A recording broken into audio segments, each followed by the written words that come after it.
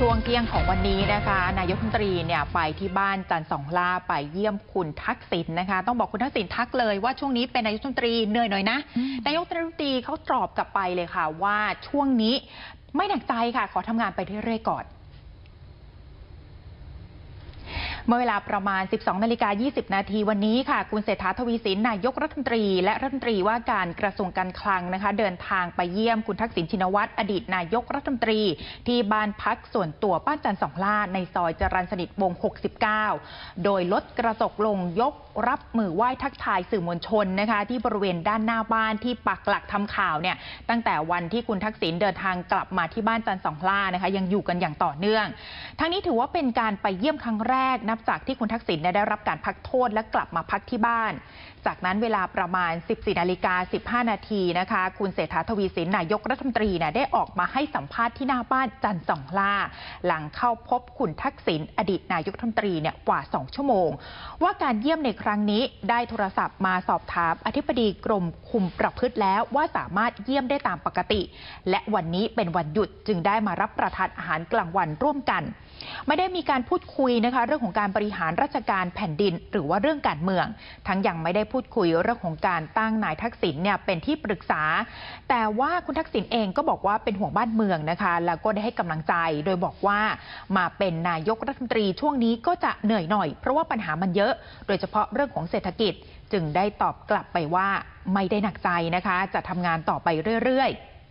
ซึ่งระหว่างการพบกันนั้นคุณทักษิณเนี่ยได้ต่อสายโทรศัพท์ พูดคุยกับนายอันวาอิบราฮิม นายกรัฐมนตรีมาเลเซียด้วย เนื่องจากคุณทักษิณมีความคุ้นเคย แล้วก็สนิทสนมกันมานาน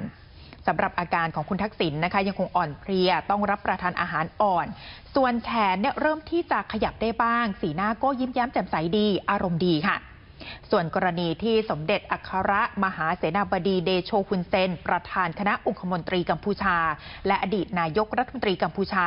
ได้เชิญนางสาวแพทองทานชินวัตรหัวหน้าพักเพื่อไทยเนี่ยไปเยือนกัมพูชาช่วงระหว่างวันที่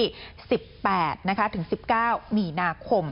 เชื่อมั่นค่ะจะให้ความสัมพันธ์ของทั้งสองประเทศดีขึ้น และพร้อมที่จะสนับสนุนเต็มที่ด้วย ทั้งนี้ค่ะนายกรัฐมนตรีเดินทางด้วยรถยนต์ all new Lexus นะคะ LM 350ทะเบียนสร30 กรุงเทพมหานคร ซึ่งเป็นรถคันใหม่ที่ทำเนียบรัฐบาลได้จัดให้เป็นรถประจำตำแหน่ง จากวิธีการของการเสนอราคาเช่ารถยนต์ประจำตำแหน่งนายกรัฐมนตรี เป็นเงินทั้งสิ้น7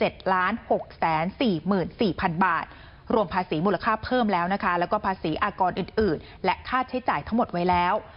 สำหรับรถรุ่นนี้ยังเป็นรถยนต์รุ่นเดียวกันกับที่นายกรัฐมนตรีเคยระบุว่าบุตรสาวซื้อให้และนำมาใช้ช่วงเริ่มรับตำแหน่งด้วย ส่วนทะเบียนรถสอรอนะคะสอเสือรอเรือ 30 เนี่ยคาดว่าสอเสือรอเรือเนี้ยย่อมาจากสำนักนายกรัฐมนตรี แล้วก็สอรอสอเสือรอเรือจุดหนึ่งก็คือนามเรียกขานนายกรัฐมนตรีนั่นเอง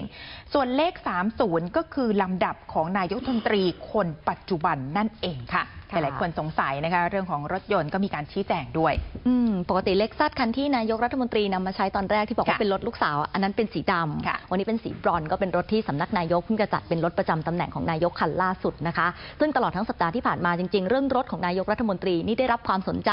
โดยเฉพาะประเด็นวันที่นายกเนี่ยขับรถไฟฟ้าค่ะคันสีเยลโล่กรีนเหลืองๆเขียวๆเข้าไปทำเนียบรัฐบาล เพื่อประชุมคณะกรรมการขับเคลื่อนยานยนต์ไฟฟ้าด้วยนั่นเองค่ะ ก็เป็นสีสันการเมืองไทยนะคะ